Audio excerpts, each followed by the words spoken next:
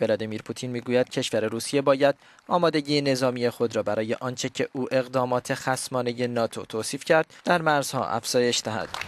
رئیس جمهوری روسیه که در پارلمان صحبت می‌کرد از کشورهای غربی به دلیل عدم تمایل به ایجاد یک سیستم امنیتی مشترک با روسیه انتقاد کرد.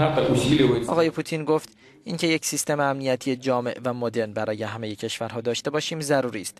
روسیه آماده است که درباره این موضوع بسیار مهم بحث کند و بارها تمایل خود را برای گفتگو نشان داده اما پاسخی نگرفته.